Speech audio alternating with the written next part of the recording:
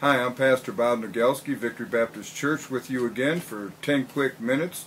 Great peace uh, have they which love thy law, and nothing shall offend them. I'd like to read an article uh, from the Bible Believers Bulletin uh, on the best scientific proof that biblical Christianity, and that's not the Roman Catholic or Protestant or Greek Orthodox kind, is superior to any other 30 religions, and it's simple. It has to do with singing. Singing. For more than 1900 years, Bible-believing Christians have been singing about a dead man. Yes, they have. Now think about that, 20 to 50 years. Doesn't that strike you as being a little off base or odd? Can anyone give me another example like that one?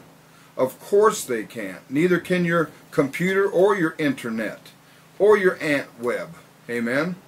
Come, come now. Surely, if Augustine or Muhammad or Mother Teresa or Thomas Aquinas or St. Francis or even Mary were so important, where are their hymnals?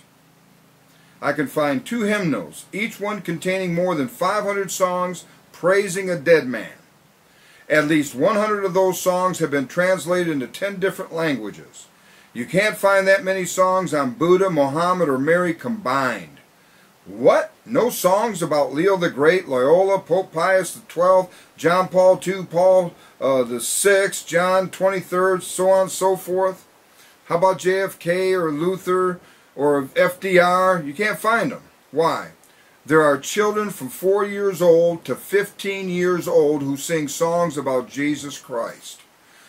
PhDs sing them, so have rocket scientists, soldiers, physicians, queens, chemists, farmers, doctors, carpenters, lawyers, governors, kings, and presidents through the last thousand years.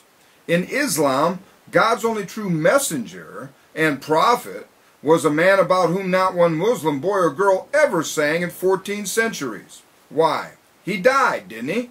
He founded a religion, didn't he? He taught you how to get to paradise, didn't he? He professed to be the perfect role model for all males, didn't he? He claimed his own people were the chosen nation of God and the best people on earth, with himself as the best example of those people, didn't he? Well then, what happened to his music? When people are happy, they sing according to James 5.13 and Psalms. They sing. They really do. You sing when you're happy. According to Psalms 137, verse 1 through 4, and Colossians 3.16, music is the universal language. Not Hebrew or Greek or English or Arabic. Music was here before any male or female showed up on this planet and before even speech was here. Its origin source was joyful praise to God as the Creator, according to Job chapter 38, verses 4 through 7. No Muslim, Imam, uh, uh, their leader, includes the book of Job in his catalog of the Old Testament Hebrew canon. They don't appreciate a woman uh, telling her husband to curse God and die, according to Job chapter 2, verse 9. So they just delete the whole book while professing to believe the Old Testament. Well, tell me something. If you believe the Old Testament, how did you miss noticing that the longest book in it, with 36 more chapters in it than the Koran, was a songbook?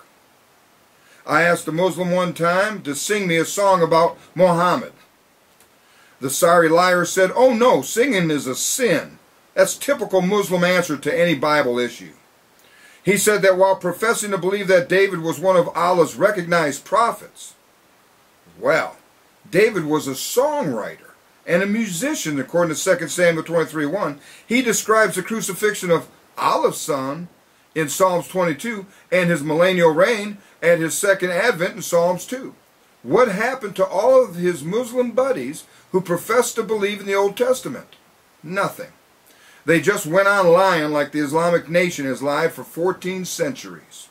There are no joyful songs about any dead Muslim from AD 600 to 2009, including Muhammad, uh, Fatima, and the old raghead's 14 uh, wives and 11 concubines. All modern Muslims have lockjaw when it comes to expressing the joy they have experienced from running into Muhammad or the praise they willingly offer him for replacing Jesus Christ as Allah's prophet. Whereas all of Jesus Christ believers know they possess eternal life, John 3, verse 36, John 5, verse 24, John 10, verse 28, and mansions in paradise. See 2 Corinthians 12, 1 through 4, and John 14, 1 through 2. And sing about it. Not one of Muhammad's followers can sing anything about either. According to Colossians 3.16, look at who would be singing about a man who died. Peter. 1 Peter 1, 4 through 5 and 1 Peter 1, uh, uh, uh, 4, uh, uh, verse 5 and verse 9. John also sang 1 John 2, 2 and, and 1 John 3, 1 through 3 and 1 John 5, 10 through 12. The Apostle Paul also. Romans 8, verse 29, verses 38 to 39. 2 Timothy 1 and verse 12. And all of their converts sang about someone. Ephesians 1.13, Philippians 1.6, 1 John 4.16, 1 John 5.13, 1 Peter 1.18 23, 1 Peter 5.10, Acts 13, 38 to 39, Acts 15 verse 11, Titus 3 and verse 5, and 1 Timothy 2 verses 5 and 6. Let me make myself clear, much clearer than, than what I just wrote. Jesus was a man who died. Multitudes saw him die. Luke 23, 46 to 49. A professional Roman infantry soldier made sure he died. John 19, 32 to 36. Mohammed died, and so did Buddha. It is a well-known historical fact that they both died. Died. Mohammed was a man who died. So what happened to Muhammad's believers who claimed that uh, to obey him was to obey Allah? That's Surah uh, 480. That is what Jesus Christ claimed. John 14.9, uh, John 8.58, John 10.30, John 17, 1 through 7, John 5, uh, verses 20, 27, and verse 36. Two men died, and they claimed the same thing.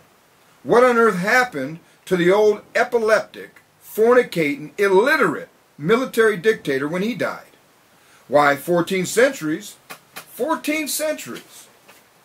You couldn't find anyone thanking Muhammad for salvation, for food, for clothing, for a marriage partner, for good health, for a job, for a meal, for a victory, or for a home in heaven. Muslims have no hymn book. Why not? Easy. Muhammad didn't qualify in anyone's sight. Want to see it in black and white as well as full color and cinemascope? All right, dig this. My hope is built on nothing less than Muhammad's blood and righteousness. Oh, o Muhammad, the solid rock I stand, all the ground is sinking sand. You ready? Blessed assurance, Muhammad is mine. Oh, what a foretaste of glory divine. Come again. Muhammad never fails. Muhammad never fails. Heaven and earth may pass away, but Muhammad never... You ever hear any songs like that about Muhammad? Zero. Zilch. Why? Dead man, dead. They don't have God's Spirit. They're not serving the God in heaven. And they don't believe God's holy word. They therefore have no joy of the Lord in their soul. Do you understand that? Can you do your own investigations on that? Can you study the Bible yourself? Can you get a Koran? I got one up in my office. Why don't you read it? And why don't you really get the truth? Stop being a lab rat. Stop letting the media just tell you what to do. Why don't you look up something every now and then? Ask God to give you that song that other believers have. Well, thank you for that. Look it up. Figure it out. Amen. We got the songbook. Why? Because Jesus is Lord. Amen.